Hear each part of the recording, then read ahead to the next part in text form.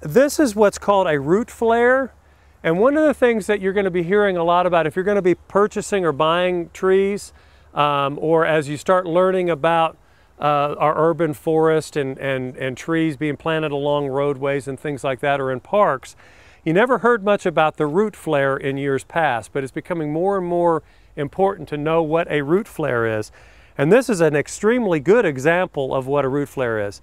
Um, it is where the tree is coming down and it's using its roots as a flare, uh, as a buttress to kind of protect this tree and, and to, to anchor it. Um, this is uh, some species of oak. It may be an overcup. I think it's an overcup oak. Um, it's really hard to tell all the different species of oaks. If we could find, if anybody has good eyes and can find an acorn, we can probably tell for sure, but it may be a little early for the acorns to be, be ripening. Um, old ones? Yeah, we need one with the cup still, the cap still on it. But um, the reason that a root flare, oh, let's see. Oh, okay. Well, this is an overcup oak.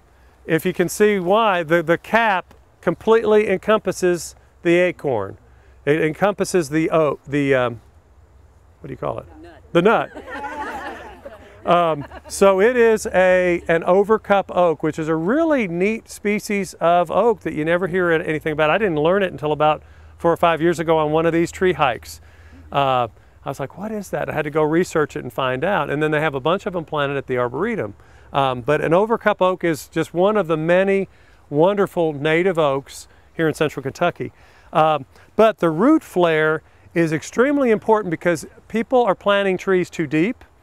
And if a tree is planted too deep, the roots cannot get oxygen. Uh, they cannot perform the way that they were meant to perform.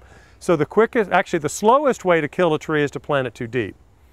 Uh, a tree will just sit there and sit there and sit there for years as long as it's not being watered too much. The quickest way to kill it is to plant too deep and then drown it because a tree will die within weeks if it's planted too deep and sitting in water.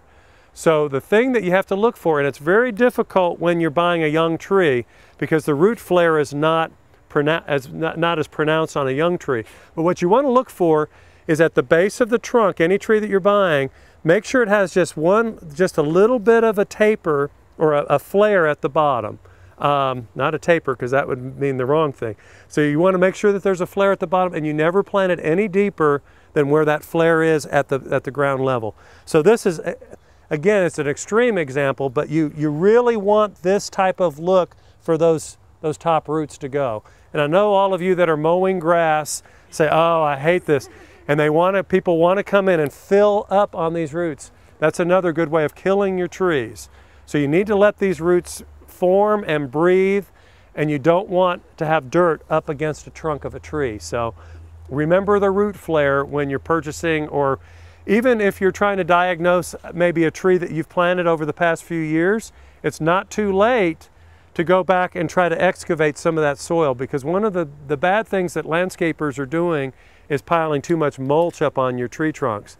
That's a, that's a no-no for good uh, tree health. You need to pull that mulch away and try to expose where that root flare is and make sure that air is, is hitting that because remember there's a difference between what you see here. You see you got bark on this?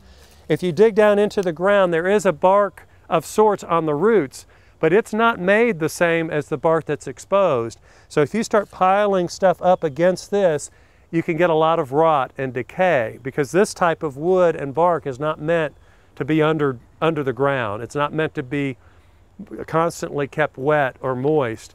And that's where insects and mice and all sorts of stuff will take advantage of that and you start getting decay and disease happening on your tree, uh, on your bark. So pull that mulch away and let this function like it does, like it does here.